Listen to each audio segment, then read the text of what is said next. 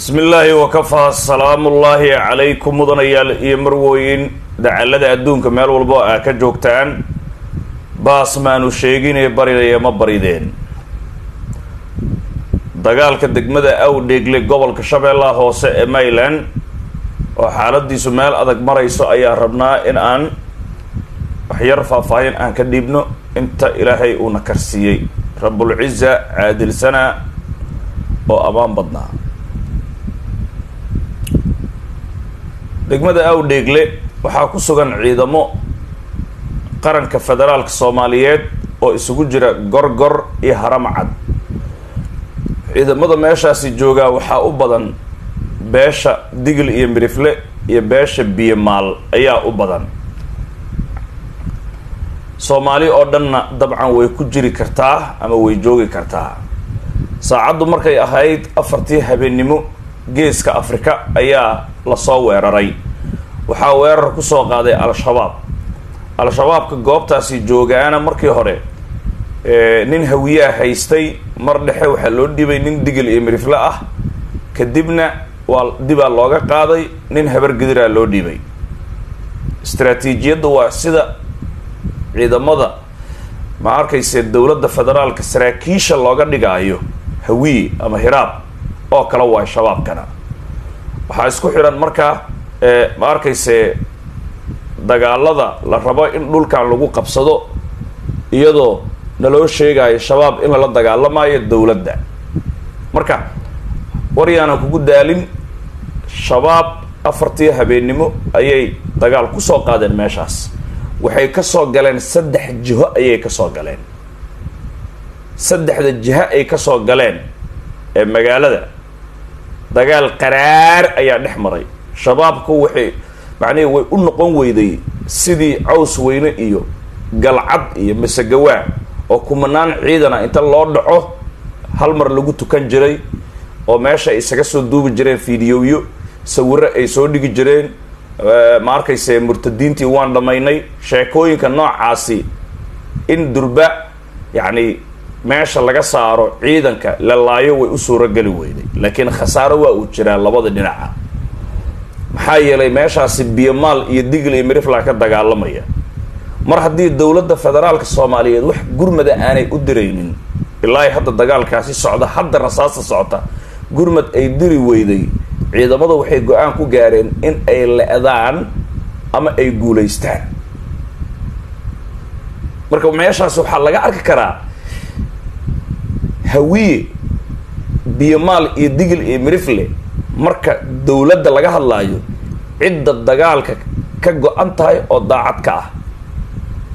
Waxaana tusaale kugu filan galcad marka la joogo iyo masegawaa marka la joogo iyo budbud dhulka hawiye waayo askari maanta kuma sugna wax ku nagaada waa la waayay markii digil iyo mirifle iyo ma arkayse biyomaal ama dir iyo daaroodku iyo beesha shanaad ay ka soo baxeen.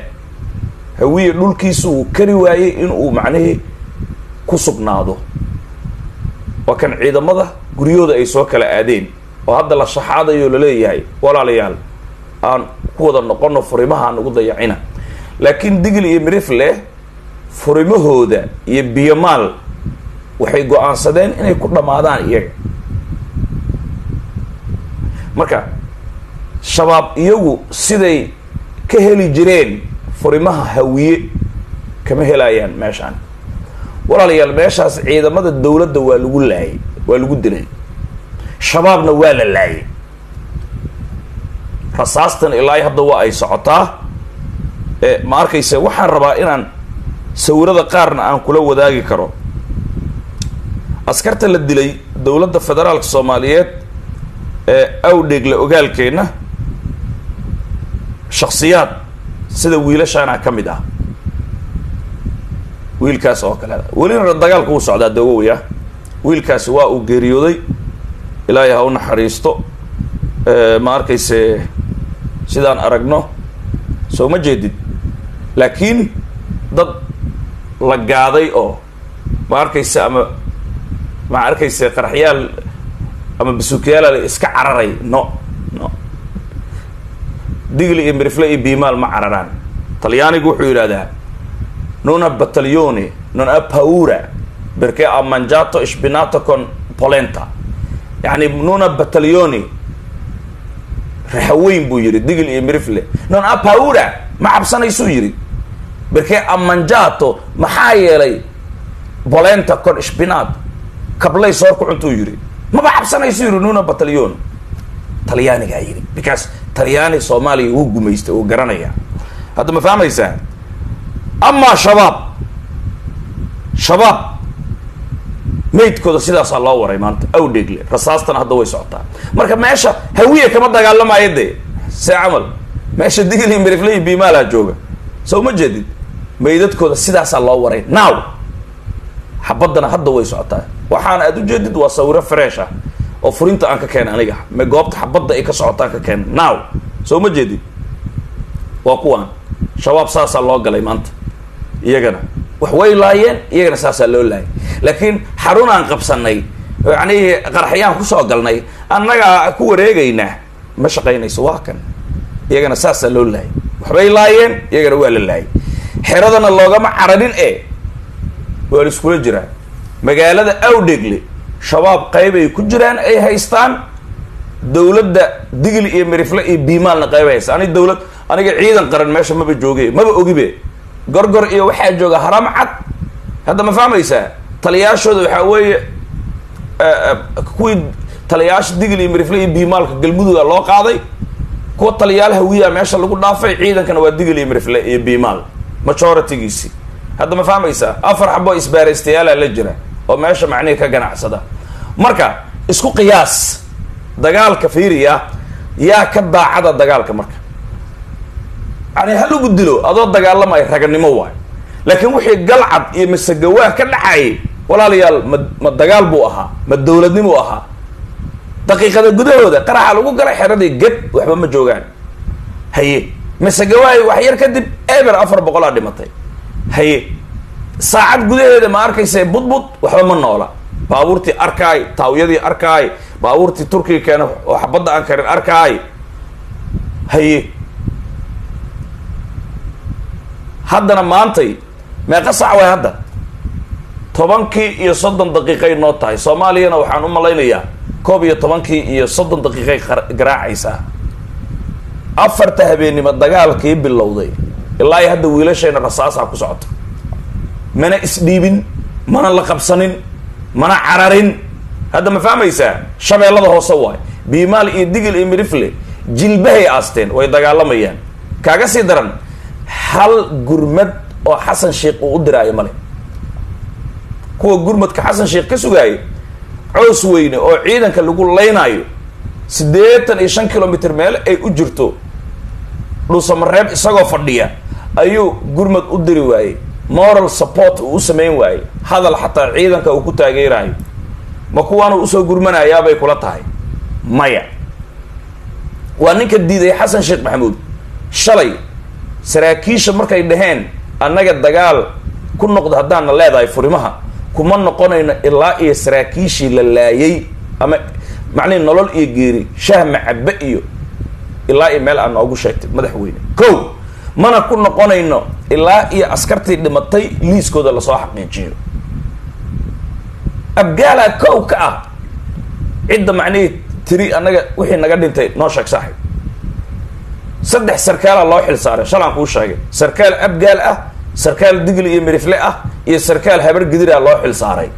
Sarkaalka digli iyo miriflea nuuruddiinaa lahaa saddexdii sarkaal markay soo tira koobeen ciidamadii lagu laayay cows weyne warqad ay ku soo qoreen la ogaaday mahad salaadaa soo wacay. Saraakiishaasi saddexda ah. Isagaa dil ugu hanjabay. Wuxuu yidhi ma soo bandhigi kartaan. Kadib waxay u yimaadeen madaxweynaha soomaaliya mudane xasan sheekh maxamuud. Liiskii bay u keeneen. Liiskii markay u keen markay u keeneen liiskii uu fiirsay oo liiskan dherarka badan maa dhintay askartan haa haddaad soo bandhigtaan waa toogashaa tiin uu yidhi. Qofkii soo bandhigay liiskan waa toogasho. Ay. Waxaad yeelaydaan liiskan qaada mahad salaad u geey. Waa mahad salaadkii u soo hanjabay oo yidhi liisk macnihi waxba ma qori kartaan.